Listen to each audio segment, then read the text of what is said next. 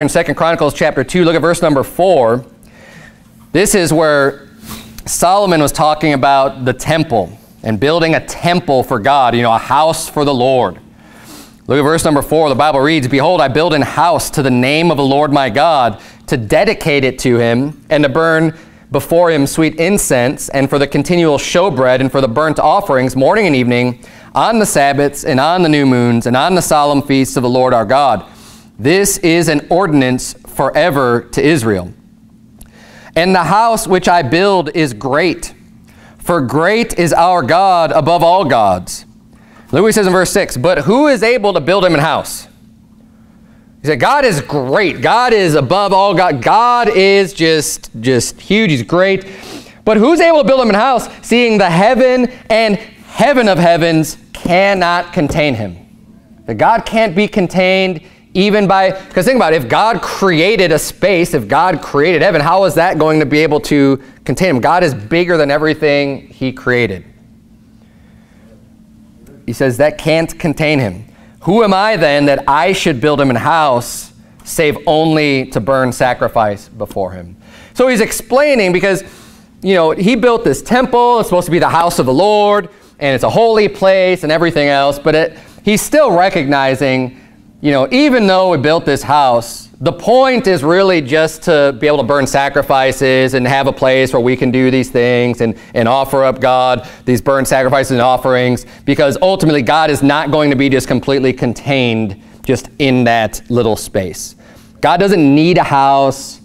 You know, God doesn't need anything from us. God is the one who gives everything. He gives life. He's created everything. He doesn't need that from us. And the heaven, even the heaven of heavens, cannot contain him. Um, turn, if you would, please, to Psalm 193. Or excuse me, Psalm 139, not 193. Getting dyslexic this morning. Psalm 139. I'm going to read for you from Jeremiah 23.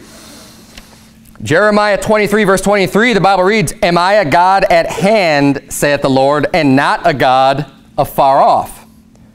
So he's saying, am I just a God that's just like at hand, meaning like real close right here, but not a God that's also far off and far away and could see from afar? Verse 24 says, Can any hide himself in secret places that I shall not see him? So can anybody just find a hiding place anywhere and I'm not going to be able to see him? I'm not going to be able to know where he is saith the Lord says, Do not I fill heaven and earth, saith the Lord. So God's saying, I fill heaven and earth. How can you go anywhere and be away from God? He fills heaven and earth. God is everywhere. You can't hide from God. And people who foolishly want to try to get away from the presence of God, you can't. You can't do it. Just like jo uh, Jonah.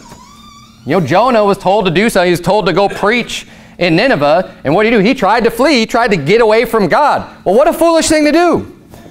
He's on a boat in the middle of, of the sea. And guess what?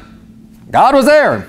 it doesn't matter. He go in the opposite direction where he's supposed to be going, but God was still there. You cannot get away from God. And you know, this also debunks this false teaching that hell is separation from God. Hell is not separation from God. Because do you know do you know what the Bible says about people who are in hell that are suffering and being tortured and tormented? The Bible says it's in the presence of the holy angels and in the presence of the Lamb in the book of Revelation. Is that God is actually there. God is the one pouring out his wrath and his fury in hell right now on souls that are burning and, and tortured there. The only degree of separation that I accept when saying hell is separation from God is that they're separated in any type of good relationship with God. That's true because they're at the receiving end of his wrath and fury.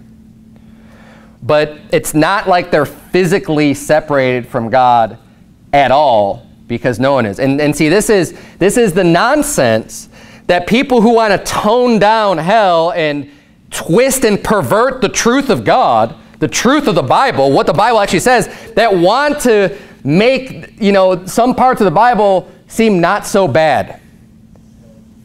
And why do they do that? Because then they could get more people and get more people putting money in the offering plate because they're not offending anybody. Because the fact of the matter is, some people, there's a lot of people out there that don't want to hear about hell. They don't want to know about it. They'd rather bury their heads in the sand than be told the truth or hear the truth that there is a place of eternal judgment and, and, torture and torment. And some people don't want to believe that there is a God that would do such a thing. But my friends, the fact of the matter is, He's real. And that is what the Bible describes about him, that there is a place called hell. It's a real place, and there's a God that created that place that's going to be sending people to hell, which is the whole reason why we go out and preach the gospel of Jesus Christ. It's the whole reason why Jesus Christ came to this earth and shed his blood and died on the cross and rose again from the dead was to pay for our sins so that we don't have to go to that place. That is why. It's the whole point. Because it's real. It's not just separation from God. So people try to tell you that, oh, see, it's just like torture to be separated from God, and God's way over there, and you're way over here, and, and you just wish and yearn and long that you could be with God, and that is hell. That's a bunch of nonsense. That foolishness would tell you that the people who on this earth want to have nothing to do with God, that somehow that's hell for them to then be separated from God, who they want to be separated from right now. To them, that's heaven. To have no rules, to have no authority, to have nobody to answer to, that's heaven for them. That's not hell. No, hell is a real place. And the people that don't want to have anything to do with God, they're going to go there.